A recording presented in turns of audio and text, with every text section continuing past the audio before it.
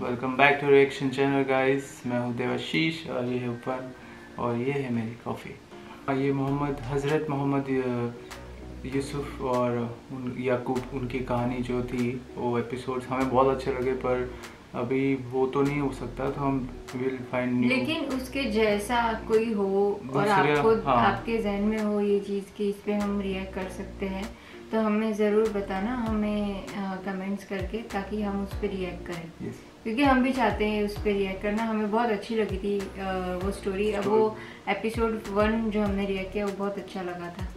कुछ लोग कमेंट्स कर रहे हैं कि कॉपीराइट की वजह से आप लोग नहीं डाल रहे हैं। हमें कॉपीराइट का मसला नहीं है। हम हम सबसे पहले ये देखते हैं कि आप लोग क्या हमें रिकमेंड या सजेस्ट कर रहे हैं तो हम उस पर रिएक्शन दें। कॉपीराइट हो नहीं उससे कोई फ़र्क नहीं पड़ता हमें। हम्म। दूसरा आ, कुछ लोग ऐसा बोल रहे हैं कि आप लोग क्यों अपलोड नहीं कर रहे। हमने अपलोड किया था फ़र्स्ट एपिसोड वो वर्ल्ड वाइड वो वर्ल्ड वाइड ब्लॉक किया है। मतलब हमारे चैनल से नहीं उस एपिसोड को ब्लॉक किया है। हाँ। तो हम फिर भी देखेंगे कोई दूसरा रास्ता होगा तो। ज़रूर हम और आप भी हमें बताना कि हाँ। कोई दूसरे तरीके से हम उस पर रिएक्ट करें। तो आज का वीडियो हम लेके आए हैं मोहम्मद अली मिर्ज़ा जो हमारे बहुत फेवरेट है। सुबह मोमिन शाम को काफिर। तो चलिए मोहम्मद अली मिर्ज़ा की वीडियो की तरफ़ चलते और देखते वीडियो में क्या है। किताबुल फितन चैप्टर में मौजूद है कि नबी इस्लाम ने फरमाया कि फितनों का ऐसा दौर दौरेगा कि कई इंसान ऐसे भी होंगे वो कब्र के पास खड़े होके कहेंगे कि काश इस मुर्दे की जगह आज हम कब्र में होते हैं तो हम इन फितनों से ना गुजरते। और उन फितनों में जो है वो इंसान सुबह के वक्त मोमिन उठेगा, शाम के वक्त काफिर हो जाएगा। शाम को मोमिन होगा, सुबह के वक्त वो काफिर उठेगा। और उन फितनों में जो है वो चलने वाले से जो, यानी जो रुकने वाला है वो बेहतर होगा और उससे भी जो बैठने वाला है वो बेहतर होगा, यानी जो जितना वाइट करेगा। और बुखारी मुस्लिम में अल्फाज हैं कि ईमान बचाना ऐसे होगा जैसा कि हथेली पे अंगारा रखना। हथेली पे अंगारा रखते हैं तो हथेली जलती है। और अगर उसको यूँ करके झटक देते हैं तो अंगारा नीचे गिर गिर के बुझ जाएगा, यानी ईमान ख़त्म हो जाएगा। यानी ईमान की हिफाजत इतना मुश्किल है जितना उस अंगारे को। यानी जिस तरह अंगारा रखना हथेली पे तकलीफ़ दे, इस तरह ईमान रखना तकलीफ़ दे होगा। लेकिन हम निकाल भी नहीं सकते, ईमान ज़रूरत है। तो इन हदीसों की तशरीहत मुख्तलिफ़ लोगों ने मुख्तलिफ़ की हैं। बाद लोग कहते हैं, नहीं, सही मुस्लिम में हदीस है, टू टू, फोर, सिक्स, कि बंदे के कुफ्र और शिरक और इस्लाम के दरमियान फ़र्क नमाज़ है। तो वो तो इस पर फिट नहीं होती, इसलिए कि जो नमाज़ नहीं पढ़ रहा, वो सुबह भी नहीं पढ़ रहा था, शाम को भी नहीं पढ़ रहा। ऐसा तो नहीं है कि शाम को बे नमाजी सोता है और सुबह उठ के बेनमाजी हो जाता है। शाम को भी बेनमाजी सोता है, सुबह उठ के भी बेनमाजी होता है अल्लाह ये कि कहीं नमाज़ शुरू करते हैं उस पर भी फिट नहीं होती।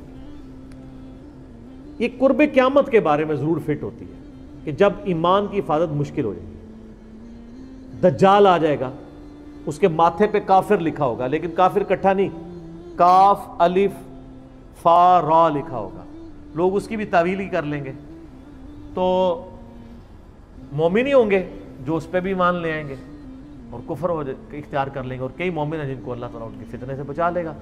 सही मुस्लिम में हदीस है कि जो शख्स सूरह अलकाफ की पहली दस आयात याद कर ले, वो दज्जाल के फितने से बच जाएगा। ये रोज़ाना एक दफ़ा पढ़ लिया करें तो याद हो जाएगी। अल्हम्दुलिल्लाह अनज़ल किताब से लेके, रब्बना आतीना मिल्लदुन का रहमत मिन अमरिना रशदा।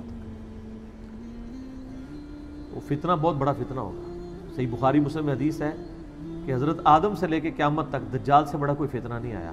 और कोई नबी ऐसा नहीं जो अपनी उम्मत को दज्जाल के फितने से आगाह ना करके गया हो। मैंने दज्जाल के ऊपर पूरा लेक्चर दिया है मसला 133 सारी दजाल से रिलेटेड अदीस आलमोस्ट सवाए चाँद देख के बुखारी मुस्लिम से मैंने कवर किए तो उस ज़माने के लिए कि वो ज़ाहिर है, दजाल पे लोग ईमान लेंगे अल्लाह ताला उसको ऐसी, यानी सलाहियत देगा। लेकिन ज़ाहिर है वो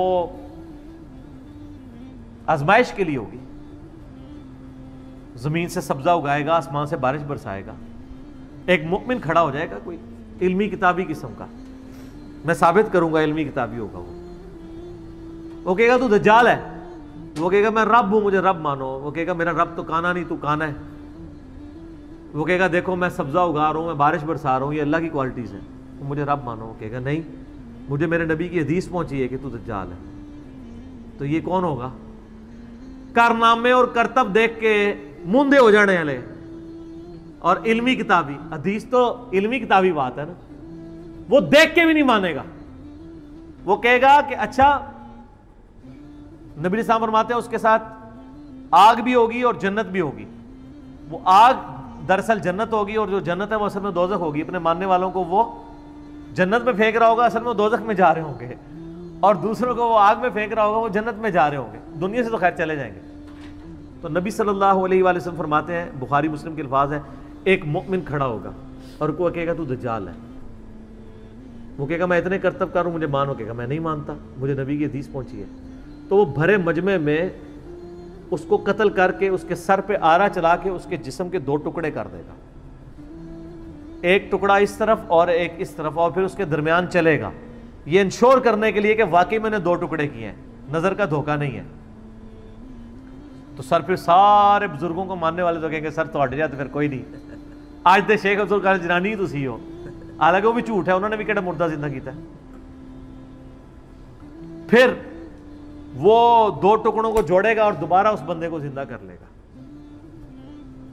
और कहेगा हाँ अब तो मैंने तुझे मार के ज़िंदा किया, अब मुझे खुदा मान। तो कहेगा, नहीं, तू दज्जाल है। तेरी इस बात ने मेरे ईमान में इजाफा किया है। क्योंकि मैंने नबी इस्लाम से सुना था, मेरे तक ये बात पहुँची थी, इल्मी किताबी बात, ये किताबी बात बाबे नहीं, किताबें, कि वो एक मोमिन को कत्ल करके ज़िंदा कर लेगा। और नबी इस्लाम के अल्फाज हैं कि वो मुमिन उस वक्त रूयर्स का सबसे बेहतरीन शहीद होगा। अच्छा उसको ज़िंदा करेगा, फिर दोबारा कत्ल करना है, फिर वो कादिर नहीं होगा उसको। कत्ल करना चाहेगा, लेकिन अल्लाह ताला उसको बचा लेगा। तो इल्मी किताबी हो गया ना? तो ये उस जमाने की बात है कि लोग वो सारे करतब देख के ही मान लेंगे या एक इसकी तावील मैंने जो सोची है ना, वो ये है, हमारे इस पुरफितन दौर में जिस तकलीफ़ से मुसलमान गुजर रहे हैं खसूस एंटी स्टेट एक्टिविटीज़ और मुसलमानों का मुसलमानों को कत्ल करना, लसानियत की बुनियाद पर पॉलिटिक्स की बुनियाद पर या मजहबी इख्तलाफात, फ़िरका वाराना की बुनियाद पर ये भी उसी कैटेगरी में फॉल करता है कि एक शख्स सुबह के वक्त इस हाल में उठा है कि वो अपने मुसलमान भाई के कत्ल को हराम समझता है। लेकिन कोई मौलवी, कोई जिहादी तंजीम उसकी ऐसी ब्रेन वाशिंग करती है कि शाम के वक्त वो किसी मस्जिद पे, इमाम बारगाह पे बम फाड़ने के लिए तैयार हो जाता है। तो जो शख्स किसी मुसलमान को मारने के लिए आमादा हो जाए और उस मारने को हलाल समझे, बल्कि सवाब समझे तो वो क्या है? काफिर। क्योंकि मुसलमान का कत्ल ना हक, हराम है। और हराम को हलाल समझने वाला क्या है? काफिर। तो मैंने ये तावील की है कि सुबह के वक्त वो मोमिन उठेगा, शाम के वक्त ब्रेन वाशिंग होकर वो काफिर हो चुका होगा। शाम को मोमिन था। सुबह के वक्त, रात के वक्त वो कहीं उसको ब्रेन वाशिंग की उन्होंने। सुबह के वक्त वो किसी पे, मुसलमान के कत्ल पे आमादा हो गया और कत्ल जैसे बड़े गुनाह को हलाल समझ लिया। काफिर हो गया। सो नबी दाऊद में हदीस है कि नबी सल्लल्लाहु अलैहि वसल्लम ने फरमाया, अल्लाह ताला या तो शिरक को माफ़ नहीं करेगा या किसी मुमिन को नाहक कत्ल किया गया, उस गुनाह को माफ़ नहीं करेगा, बाकी हर गुनाह माफ़ कर देगा। लिहाजा ये जो कुरान की आयत है ना, आयत नंबर 48 और 116 सूरह निसा की। इन यकफिर युशर कभी व यकफिर मादून अदाली शाह अल्लाह शिर को माफ़ नहीं करेगा, इसके अलावा हर गुना जिसके लिए चाहेगा माफ़ कर देगा। मगर जिसके लिए चाहेगा। तो इसमें इशारा मिलता है कि शिर के अलावा भी कोई ऐसे गुना है जो किसी के लिए माफ़ नहीं होंगे। और वो नबी इस्लाम ने फरमा दिया, कत्ल नहाक है। क्योंकि कत्ल नहाक कुफर है। आप मोमिन के कत्ल को हलाल समझे हुए सूर्य निसा में भी है, मेरा मसला 28 पूरा रिकॉर्डेड है कि जिसने जिस किसी मोमिन को नाहक कत्ल किया, उसकी जजा हमेशा के लिए दोजक है। हमेशा के लिए। क्योंकि उसने हलाल समझ लिया ना उसको। हराम को हलाल। एक बंदा जानी है, गुनागार है, लेकिन एक जना को कहता है, मैं हलाल समझता हूँ। वो काफिर है। किसी भी शरीयत की हराम को हलाल समझना। हराम को हराम समझते हुए करना गुनाह है। हराम को हलाल समझते हुए करना कुफर है। तो बड़ा सेंसिटिव मामला है। तो ये भी पुरफितन दौर में हो सकता है। इसको सपोर्टिव वो बुखारी मुस्लिम में हदीस है कि नबी इस्लाम ने फरमाया, क्यामत के करीब हर्ज आम हो जाएगा। सहाबा ने कहा, हर्ज क्या है? तो फरमाया कि कत्ल, खून रेजी। कातिल को नहीं पता होगा कि वो क्यों मार रहा है और मकतूल को नहीं पता होगा कि मुझे क्यों कत्ल किया जा रहा है। सर, जो लोग मस्जिद में नमाज़ पढ़ने गए हैं या इमाम बारगाह में गए हैं या किसी जलसे जुलूस में गए हैं उन बेचारों को तो पता ही नहीं था कि हमें क्यों मारा जा रहा है। और जो मारने वाला है, उसको भी नहीं पता मैं क्यों मार रहा हूँ। उसकी भी ब्रेन वॉशिंग हुई भी है। तो ये बहुत खतरनाक मामला है। तो मेरे ख्याल में कि ये हदीस जो क़ुरब क़्यामत में, सुबह मोमिन और शाम को काफिर, वो इस तरह के इवेंट्स के ऊपर फिट बैठती है। लिहाजा कोई अगर इस चुंगल में फंसा हुआ है तो वो अपनी इसलाह के लिए कोशिश करे। 2008-9 की बात है, मैं एक मस्जिद में था तो वहाँ मुझे एक बंदा मिला, वो तो मुझे बताने लगा। वो कहता है, मैंने तो बकायदा खुद कुछ, यानी जैकेट भी पहन ली थी, पूरा इरादा कर लिया था। ये उन दिनों की बात कर, जब ये बहुत चीज़ें आम थी, यानी ये ज़रब अज़ब से बहुत पहले की बात कर। तो फिर कह रहा है कि मुझे अल्लाह ने हदायत दी है, और चीज़ें मुझे समझ आई हैं। लेकिन उस वक्त तो कहता है, मेरी मत मारी गई थी। तो मुझे कहीं पर भी फेंकते तो मैंने काम कर लेना था। तो ये जनाब ब्रेन वाशिंग बड़ी बुरी चीज़ है। अल्लाह ताला मुसलमानों को, मुसलमानों के शर से पहले नंबर पे बचाए और काफरों के शर से दूसरे नंबर पे बचाए।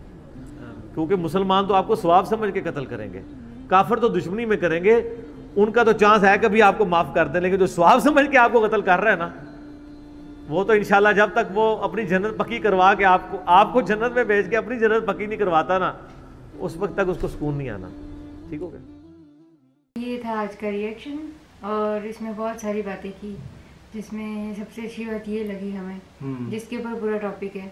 बहुत डिटेलिंग और बहुत पावरफुल रिमाइंडर जो दिया गया है इसमें कि हराम को हराम की तरह काम जो करता है वो करते हुए करना गुनाह गुनाह है और जो और हराम हराम को हलाल की तरह काम करता है वो कुफर कुफर है। कुफर है मतलब जिसको ग्रेटिट्यूड ना हो इनग्रेटिट्यूड नॉन बिलीफ जो बिलीफ नहीं रखता। हाँ, ये बहुत पावरफुल रिमाइंडर इन्होंने समझाई। तो जैसे इसका टाइटल है सुबह मोमिन शाम को काफिर। तो इसका मेन मतलब ये है कि ऐसी ऐसा वक्त आएगा कि सुबह वो मोमिन बन के रहेगा और शाम को शाम होते होते वो काफिर बन जाएगा कि अल्लाह में उसको ईमान नज़र नहीं आएगा बोलते हैं कि इबादत नहीं करेगा नमाज़ नहीं पढ़ेगा। और वो सारे हराम काम की तरफ़ आगे बढ़ता रहेगा। जो बोलते हैं ना, गफिल हार्ट बोलते हैं। गफलत होना गफलत, दिल में गफलत होना तो वो वो फैल जाएगा। तो ये इस तरीके से बात कर रहे हैं। और दूसरी चीज़, दज्जल के बारे में बात की है। दज्जल मतलब बेईमान होता है। एक इल्यूजन आएगा कि वो मैजिक करेगा और इंसानियत को जो इस्लाम जो फॉलो करता है जो मोमिन उनको ऐसा लगेगा कि भाई ये बोलते ना ये हमारे कोई गॉड आए हैं बोलते पैगंबर आए हैं या कि अल्लाह के बाद ये ही आए हैं तो तो उनको सारे हराम काम की तरफ़ ले जाएगा। और उनको एक चीज़ बोली ना कि उनको ऐसा लगा कि भाई ये जन्नत में जा रहे हैं। और वो जन्नत नहीं होगी वो दोजक होगी। हाँ। और दोजक में आग लगाई जाएगी और वो इल्यूजन क्रिएट किया जाएगा तो उसमें ऐसा लगा कि भाई ये दोजक है। तो आपका ब्रेन वॉश किया जाएगा दज्जल आएगा। तो ये जो जिस दिन मोमिन उसको पहचानेगा कि भाई तू तू हमारा भगवान नहीं है तुम्हारा गॉड नहीं है तू दज्जल है तू बेईमान है तू इस्लाम को उनको बर्बाद करने है हम्म, हम्म। तो ये और एक अच्छी चीज़ लास्ट में इन्होंने कही कि वो जो ब्रेन वॉश हो जाते हैं जो बोलते कि मस्जिदों में बॉम्ब ब्लास्ट जो होते हैं तो एक मोमिन मोमिन को नहीं मार सकता वो धोजक में जाएगा है ना? हाँ। वो बातें कही गई। और कि जब इन, इन्होंने रियल लाइफ स्टोरी बताई थी कि इन्होंने बात की थी तो उसको समझाया और अल्लाह की इबादत करने के लिए बोला तब वो बोला कि भाई हाँ मैं ब्रेन वॉश हो चुका था। तो ऐसे बहुत किस्से आते हैं कि ब्रेन वॉश हो जाता है गलत बोलते ना दज्जल आएगा और उनको ब्रेन वॉश करेगा। तो ऐसी चीज़ों में ना पड़े। और आपकी सोच के हिसाब से आप आगे बढ़े और अल्लाह की इबादत करें और नमाज़ें पढ़े और हलाल काम करते रहो है ना तो ये था हमारा रिएक्शन आज का और जितने भी हमारे चैनल पे न्यू है उनको मैं ये बोलूँगी कि सब्सक्राइब करे बिना जाना नहीं है आपको Yes. आपको लाजमी सब्सक्राइब करना Yes, है yes. कमेंट करना है शेयर करना है जितने भी कमेंट्स कर रहे हैं वो और ज़्यादा कमेंट्स कर हमें बहुत अच्छा लगता है Yes. तो मिलेंगे आपसे अगले वीडियो में। जब तक के लिए आप सभी आ, अपना ख्याल रखें हम भी अपना ख्याल रखेंगे। अल्लाह हाफिज़। खुदा हाफिज़। शुक्रान।